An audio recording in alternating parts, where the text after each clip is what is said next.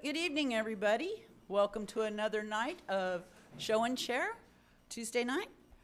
Hope that we have three projects that have signed up. We may have more.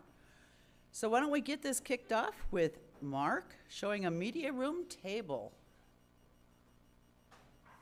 There you go. It's another, this is another PowerPoint presentation. Okay. Let's see. Yeah, all right. Every time I come here, my fingerprint gets sweaty. There we go. It, it doesn't recognize me.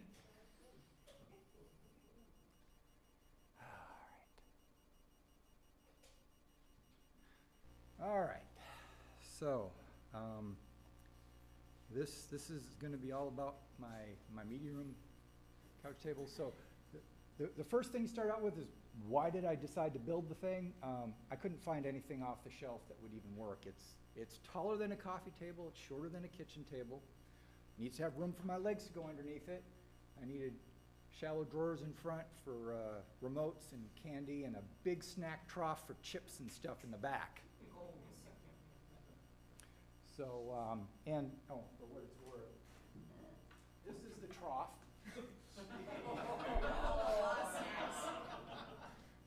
So, I'll, I will get to that more later, um. So, yeah, it, it didn't end up looking exactly like that picture. I was starting to learn SketchUp, and, uh, and then I gave up, and I, I just did it all on the fly in the shop. So first thing I had to do is tool up. Uh, I was gonna make some big, thick veneers out of uh, bird's eye maple and some other things. So I, I got a big, got a table saw with, uh, I guess, 14 inch of depth cut. And then I built some in-feed and out-feed tables so that I could run this big table thing across it. You can actually see it um, at the end of that. And then I uh, made it, the in-feed, out-feed tables actually, they, they hook to the other side so they can be a side table as well. So that worked out real well. The front legs just pop up and folds flat against the wall. And I mentioned here that this was with the initial rosewood edge banding, and I just didn't think, it, it didn't go well with the white oak, so I, I cut it off and started over. I decided this looked much better with the white oak, so um, went with the sapele, ribbon sapele. So I, I used Baltic port, uh, a three-quarter inch Baltic birch core, um, and the idea being that this is gonna be a, uh, it's all gonna be laminated together, but I didn't want the wood shifting around on me and expanding and contracting a lot, so was a lot of glue. Um, anyway. So then I, uh, okay, so this is the glue up for the, just the edge banding with the sapele. And then I, I learned how to use a card scraper and got a card burnisher and played with all that stuff. Um, on the underside, I put a quarter inch white oak, so I uh, miter cut that. Um, and, you know, I was told that I basically had to laminate the top and bottom or it would pull one way or the other, so did both sides. Um, so then uh, jump into the, the bird's eye maple for the top. Um, I started uh, running it through the table saw, so you can see there's a, a deep cut in the top and the bottom. And then after running it through the table saw on both ends, then I ran it through the, uh, through the bandsaw. I guess if I was better at resawing, I might not have had to put the slots in, but I was still figuring it all out and getting my bandsaw tuned and learning all about that. Um, so I was about half an inch thick to start with. Um, I, I worked it down some. So that's not quite lined up, but that's about what I got out of the bird's eye maple for the tabletop. So um, this was also multiple steps. So I started out, there's wax paper underneath the whole thing, and I was uh, just getting the book matched. So this is just the seam edge being glued up. Um, oh, yeah, and before I get to the next part, I learned a few things about ebony in the process. I, I kind of freaked out. I, I, bought all this ebony at, at Jeffries, and uh, I started cutting it, and it was all light inside. I'm like, well, what am I going to do with this? And I called him up, and he's like, just put it outside. So, so there's three, is actually, I'm sorry, not three, there's actually four strips on the side there. And that gives you an idea of what it looked like when it was cut, and then with some sun, and at the very bottom was after it'd been out in the sun long enough to be dark like I wanted it. But, uh, yeah, I've, I've found a number of woods are like that. They look funny when you first cut them open. So, um, so I glued and trimmed it in steps. So at this point, you can see there's a little ebony edge banding, or uh, not, uh, like an accent stripe, and then there's some, uh, quarter sawn, kind of highly figured white oak on the end. And then I basically ripped down each side to give me a nice straight, uh, thing to cut the next one on. And then, uh, once I had that, I was able to do this. So I had all the steps I went through here in terms of seaming and trimming and, you know, gluing and et cetera, et cetera, until it was all together. So, then I, I got to learn the wonders of hand planes and, and sharpening and got my diamond stones and learned how to maintain, and, and actually, I, I took an old hand plane my dad had given me many years ago and brought it back. I had to flatten the bottom and everything, it took me a while. Um, but that's, that's a new hand plane, not anything I worked with, but I really enjoyed that, it was pretty. Um, and then, most people would have put, taken a hand router and gone around it. I didn't have a hand router. I had put a lot of effort into my, my Uber routing station, so I, uh, I ran the whole table around the router the hard way. Um, Then I played a whole lot with different dyes and stuff, and then I decided I liked the look of the woods itself, so I left it. So you can see a lot of pencil marks in there. Uh, this was how I designed the rest of it. I eyeballed it and I measured and I drew all over the place and that, it all just came together out in my garage. Um, so I decided the legs would need to be removable and I was gonna through bolt them. And so there's inserts on the other side. So that's three quarter inch plywood and, uh, you're not gonna see any fancy, um, you know, dovetails on this or anything. This is, and you can see the, uh, the pocket screws on this. So there's eight pocket screws and glue holding, uh, these onto the, uh, Baltic birch base. And then I later clad all of that. Okay, so I'll get to that in a minute. All right, so then, um, so I'd put quarter inch white oak around the edges, then I took a piece of quarter inch plywood for the bottom. Um, and I, I, as I said in there, I, I dado cut slots, uh, for the drawer supports, and then I glued all of that in place. Um, and then you can see, I, as I was going, it's like, well, I need to have access holes or I can't get the legs out, so I had to drill holes in the drawer supports. Um, so this is just kind of roughed together.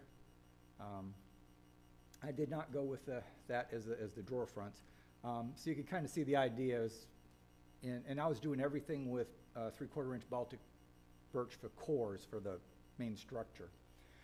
And that was my first cut at the leg, and it matches kind of the original drawing, and my wife said, that looks like it belongs in an office, it's ugly, get rid of it. I'm, oh, and she used choice words. She really did not like it. She said that, basically, that's ugly, it's not going in, in the media room. So, um, it was a little further along, so you can see where I was starting to clad the base, ar- you know, so there was that plywood, and so I've got white oak completely glued around it. And, uh, I decided I wanted the drawer fronts to be kind of prettier than that single piece, so I have white oak, bird's eye sapele, bird's eye. Um, That's this, by the way, um, I guess we can pass this around. Um, that's a, um, so I cut three drawer fronts out of them, and, uh, with a bandsaw to get a really thin cut. Um, this is more edge cladding, so it's just boxing around that thing. Um, okay, now we're getting to this. I thought I had my shooting board in here a little sooner, but when I did the drawer fronts, um, I, I used the bandsaw to get a really thin cut, and then I used, uh, a shooting board with my number six, uh, hand, uh, plane to get, to just shave it to get a, a ninety degree angle without taking much material off, because when you push all three drawers together, they look like a continuous piece, so I didn't want to take much away. So I started on, on this thing, and so you can see you've got a white oak on the ends, and then it's got half-inch plywood in the bottom, and then quarter inch on the front and back. Um, And that's the material I started with. And then this shows how, how the sides were shaped. Um, So they actually fit in. You can see there's a, a piece of wood laying across the top of the base up there. Um, That, that comes down and actually fits into the slot in each side. It's about a quarter inch deep slot, and that's what holds it in place. Um, So then it was time to put all the pretty veneers on it. So this is all the bird's eye maple and curly maple um, that I wanted to put around this so it'd look prettier than plywood. Um, That took a little, little time. Whoop, I didn't mean to do that. Yeah, so the bird's eye really came out nice, and, and you can see that um, once I got the fronts and backs on, I put caps across the top. And it was thick enough that I had some room to sand. Um, but I really liked how the curly maple in the bottom went against the, um, the live wood on the edge at the bottom, and then it worked its way darker into the dead wood, which is, I, anyway. Aesthetically, I thought it looked really pretty. Um, this, this is my favorite piece that I've ever made. So this is when I'm, I'm finally seeing, here, here's what the trough looks like behind the, uh, the table. And my wife wanted something more like a pedestal, so this is, now, once again, that's just the core, so that's the three-quarter inch Baltic core. And then I was figuring out a shape in the same material I was gonna glue to the sides.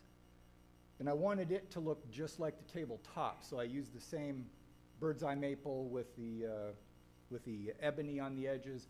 And you can see at the top here what was gonna be the foot, so I've got some thick pieces of, uh, white oak um, glued up there. And then the other side was actually um, where it bolts into the table, and there's more of a platform too. It's, it's very stable. I, I did not want to have a, a back piece across the legs for st- stability, so I made these as solid as I could. Um, you can see I'm starting to shape the feet at this point. And on the front and back of the legs, um, I thought it would be better if it was like an I-beam, so I capped it with a big piece of uh, white oak, um, and I ran a dado to get the three-quarter inch slot, so I could, uh, more, more strength and stability. And so the legs, I, I thought they were really pretty, but no- not trying to pat myself on the back, but I, I was, I stared at this project a lot as it went together. I was really happy with how it looked. Um, oops. And, uh, all right, so these are the drawer supports. Um, so I went with wax slides, um, pretty simple stuff. So plywood got glued in, but it had the, uh, white oak going around it. Um, and then the drawer that's being passed around, um, also got that plywood at Jeffries too, the walnut plywood. It looked pretty nice. Um, there's my shooting board. I was considering bringing that with me today, um, and then I saw the state that my number six uh, hand plane was in, and uh, the top of the shooting board had actually started to warp up since I did this. But I was getting really nice, like thousandth of an inch. It, I, I was having fun playing with hand planes. You know. um, so this is the final glue up with the drawers. Um, so I basically glued the, them all together, so they were just solid. Um, you can see the white oak all the way around. And so this is initially, we got the shellac on it, just, it's just kind of, kind of coming together and uh, kind of impressive in that direction. You can see how the drawers kind of, the seams between them almost disappear. Um, And then, uh, then it was time for epoxy, because I was gonna eat on this, so we wanted to uh, have a solid finish. So got the heat gun and the torch and measuring containers, and uh, got some bar top epoxy.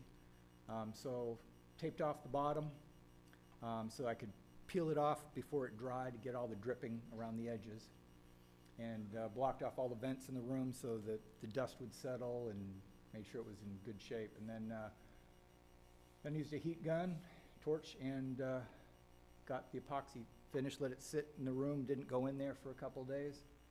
And uh, I was real happy with it. The bar top finished. there was no sanding, it just leveled itself out as it cured.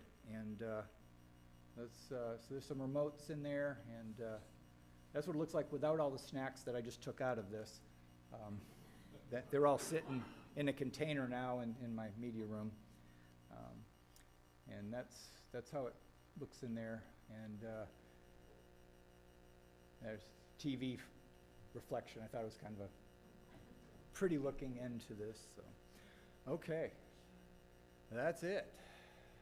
So,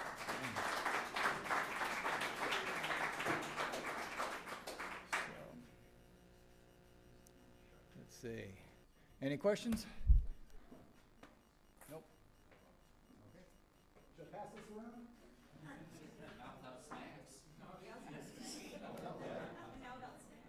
Not without snacks, okay, yeah. Thank you, Mark. And that's a great example of things we like to share, things that were successful. You shared a few mistakes along the way, and that's all part of show and share. Share things you had a good time with that you're proud of, things you went, uh-oh, maybe somebody else can learn from this. Uh, it, it's, we're all here as a community.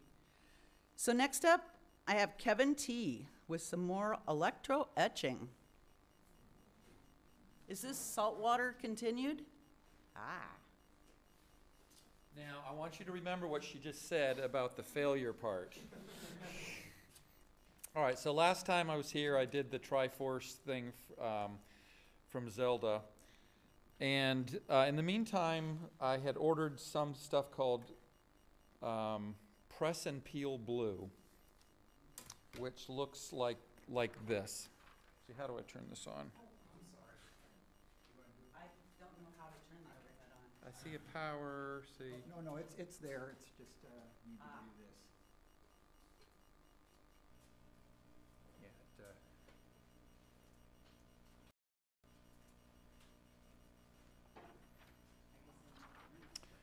uh, Okay, so this press and peel blue has a, a shiny side like this, and it's got a matte side, and it's designed that you put it in your photocopier and you print out on it.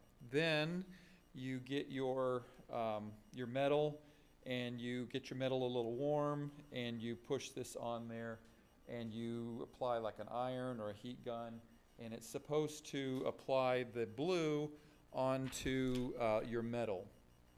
So I did that, and it came out kind of like this. And if you notice that it's not all coming off. And so I tried this several different ways. I took my metal and I even, uh, I thought maybe my metal wasn't getting hot enough. And even put it in the toaster oven on like toast uh, thing for like 30 minutes and it got all amber colored and just couldn't get it to consistently stick because all of these places where the, the uh, blue doesn't come off are places that won't etch properly. But I decided I'd go ahead and try. And I got this. So on the places, well, that doesn't come through very well, does it? Is there a way to focus it?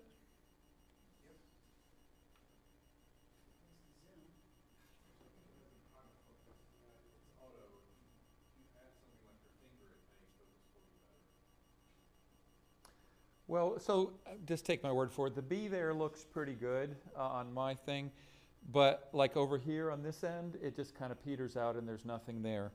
And then places like right here, these are supposed to be solid squares where you put in um, you put in spindle speeds, and here it just you know it didn't get, take it all because there was no uh, color there.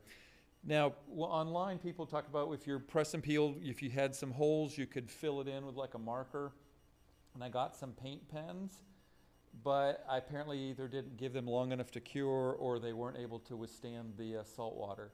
Because uh, the, all the places that I painted, it just didn't, it just came right back off. So my next uh, attempt that I'm going to do is I would like to take this piece, which is just a painted piece of metal, and I would like to use the laser CNC to etch off the, the paint. This has two uh, coats of spray paint. I'd like to use a laser to try to burn off the, um, the place where I want to get etched. So that's my next thing. And part of this is an appeal. I don't have the CNC certification and I've looked and I don't know when there's going to be a class. So if anyone would be willing to work with me on this, I'd be appreciative. Thank you. Any questions? What was your uh? Um, I wire wheeled it, then I think I washed it, and then I used acetone. The press and peel blue, is that like a layout bluing, also used sometimes in laundry? I don't know. Um, I think it's designed for making circuit boards mostly. And most of the instructions I see talk about using it with copper, and it may be a problem that this is steel and not copper, maybe why it's not sticking. Um, but that's mostly what I see is for you print out a circuit board and then you put it on there and then it'll etch it off. Anything else? Thank you.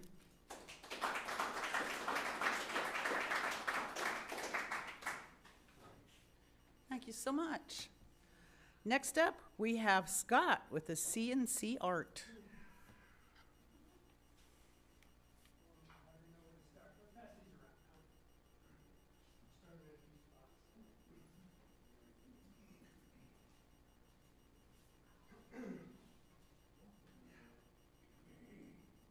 This stuff should really come with a disclaimer, I've only been doing it a couple months. Um, could come up behind the mic. I don't know where to put these down. This guy is dangerous. And if you want to show on a bigger view, that side. Well, stand up with it. That, uh, computer's connected to the internet? Could you go to woodgrainterrain.com? Your computer is, but mine isn't. Okay. I wasn't really prepared to, uh, present here tonight, but, uh, I don't know. Uh, a few months ago, I decided, I woke up one day and I said, I want a CNC machine. And I said, I want to carve terrain into wood. I have no idea why or how, but it's been my obsession for the past few months. I've hardly left my house, you know, other than maybe to find some wood to carve stuff into. Uh, I don't know where to start. Um, used to lead trips outdoors, got a master's degree in environmental education, and I work as a handyman here in Knoxville, a job I am damn well sick of. so I would hope that some some point I could turn this into a money making thing, but uh, uh, I am the lucky, I guess, beneficiary of maybe three generations of tools. You know, my my father, his father, his father, uh, my grandmother's father. So I have grandpa's Delta table saw from the from the 80s. Um, I'm kind of lucky with that. Um, the CNC machine does a lot of the work, but you need a whole little workshop to support that stuff, I guess. One thing I try to do is find the most messed up pieces of wood. So anything with a void in it, the kind of stuff that most woodworkers would put in the burn pile, that's the stuff I search for and have a hard time finding. So this guy, this is one of my newest ones, and this is actually the first carving that's uh, from another planet. That is Holden Crater uh, on the planet Mars. Could you step to the other side? I don't know. Where is the camera? Uh, Camera here. But it's focused more towards that side. I Yeah. feel lost because I had no idea what. Well, you got it in the light, it's okay. Thank you. Um, this was started out as a few inches longer. Of course, the planer was a fan of putting divots in it in the backside, so I cut it off. But big old gnarly knot in the middle of this, covered with bark and everything. I filled it with a few different layers of resin, filled the back to cover it in. And uh, uh, this guy was on the machine for about 13 hours, which was pretty long. And of course, um, I try to build frames on some of those or legs or something else to, to put these things on. Uh, it's a little bit of a monster. But I do a lot of Tennessee stuff. Um, just this week I did a moon and a Mars thing, which I can guarantee you I'll do more of. But uh, I, I, I can't emphasize enough, I barely know what I'm doing. I, uh, it's literally only been a few months, and uh, one of the things I, I uh, took to heart was if you're not making mistakes, you're not learning fast enough. So I still have all my fingers, which is good, but there's a lot of saws, a lot of sawdust, um, and there you have it, I guess. Please. So it's terrain, right? So is it like actual terrain or just stuff that you've made up? So uh, I am not a digital designer by any stretch, and every one of these carvings is done from an STL model, the same file format that 3D printer guys use. And uh, a lot of this um, terrain data is created by the U.S. government and is available freely for anyone to use it. There's a whole nother aspect of um, getting good data that's a, that's a whole nother story. It's been one of the more challenging parts. But larger pieces of land, like you know Chattanooga here, actually Chattanooga sits right about here. That's the Prentice Cooper State Forest and the Tennessee River Gorge. Um, that's a, a piece of ash, which you know they make baseball bats out of. So that's some pretty hard wood to be uh, doing its thing. But this size model, no problem. If you want to do closer, then it becomes more difficult finding the proper stuff. But it's all out there and it's largely available for free, the big stuff. Uh, what are you using for your software for this? Are you, are you taking your STL and putting it through like a slicer or some CAM process? So there's a, the program I use is called Vectric V-Carve. It's made for CNCs, CAD and CAM. And you put the file in, you arrange stuff where you want it, you know, set your material stuff, and then it does all the work. Some of these, uh, you know, the G-code files that run the machine are just text files. And these bigger ones will have like a 35 megabyte text file, which is like 400,000 lines of code. so they're, they're quite large. So I noticed you have some pretty vertical surfaces. Um, was there any issue like making sure your bit was long enough so that your head is not crashing into the top part while So you're getting down? I, I want to do a mean that shows like my first carving, which was this big, with about a quarter inch of terrain height, and that's how it started. And then this is how it's going, you know. So uh, even this one, I really didn't try to max out. Um, the Martian one, uh, the piece is so twisted, you have to leave some material on. Uh, but the, the thinnest part of that wood is a quarter of an inch. And uh, the Grand Canyon model that's going around, if you hold it up to the light, you can see the light through the river at the bottom. I mean, it's uh, less than a sixteenth of an inch. So I've really tried to push the machine to get the maximum amount of terrain depth that I could in any one piece. And you know, you don't want the spindle racking against your stuff. So uh, I, I don't want to, also don't want to start my house on fire. So I try to keep an eye on it when it's happening. And then you had, like, tell us about sometime you had a failed, a failed one. Uh, so I, you know, if you buy a CNC machine, you should put a sign on the front that says Z, uh, zero out the Z-axis dummy every single time, right? that tells your machine where the top of your piece is. There's a nice, you know, round hole in my spoil board where one, at least one time I neglected to do that. But you didn't have your part board like fly apart because you had a crack you didn't expect? You know, I didn't catch a bit in my teeth or anything, no, so there's that much. Uh, hopefully, I'm smart enough to avoid the worst of that, but certainly there have been pieces that, you know, bits rip through, ruin stuff halfway through. Those get thrown across the room violently before they put in the, in the waste pile, yeah. Most of my raw material is somebody else's trash, right? Uh, I found a guy on Facebook who works at a furniture factory. That big piece of oak over there, they want nothing to do with that. It's worthless to them. But to me, it's, uh, it's just great. I also, um, because I'm a handyman, I've been to the lumber yards quite a bit. Uh, Mark at Witt Lumber keeps a couple buckets of messed up wood for me. I got some more from him today. So uh, I'm always searching for wood with voids in it that I can carve crazy stuff into. Is that it? Thanks for listening.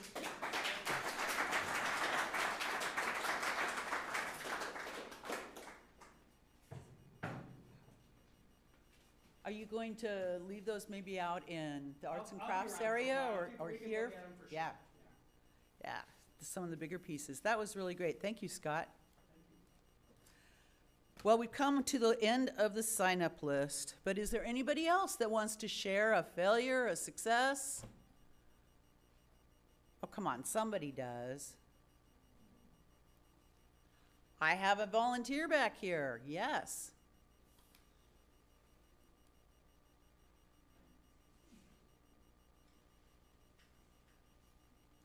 And your name is? Nico.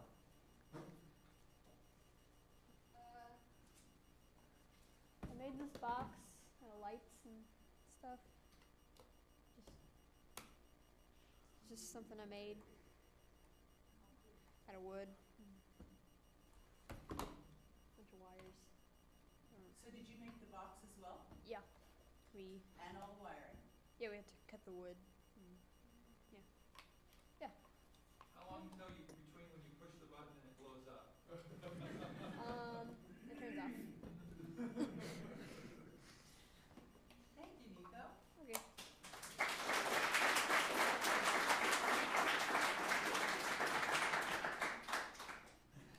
That's great. Well, if there's nothing else, um, we'll carry on for some class announcements. We have a scrap metal art class coming up on April 2nd. That's for anybody that we want to bring the artist out in using welding. So scrap metal and we'll be tacking it together. Still one more ticket. There's one more. Okay, there was two, so you're doing great. Last ticket out there. There's a hand tool sharpening class on April 6th, a woodworking off class on April 9th. On the other end of the shop, I've got a learn to sew class on the 9th. The laser cutting class on April 16th. The 10 o'clock class is sold out, don't bother. But Tracy gracefully added a 1 o'clock class. And when I looked, there was, I think, two tickets left, so maybe there's only one. Um, hurry, they're going fast. And that's all I have for classes. Oh, yes, Tracy? New member onboarding Thursday. Is that uh, seven? Yes. Seven o'clock. Tracy usually brings some sort of sweet to have. Isaac usually brings donuts. Oh, Isaac brings the sweets. So new member onboarding is great. If you're thinking about joining, uh, if you haven't been to a new member onboarding, come. Um, whether you're a senior, well, that maybe came out wrong. If you've been with Knox Makers for a long time um, and want to refresh your memory, it's all about what we're about as an organization. So you can always pick up something there. And any other announcements?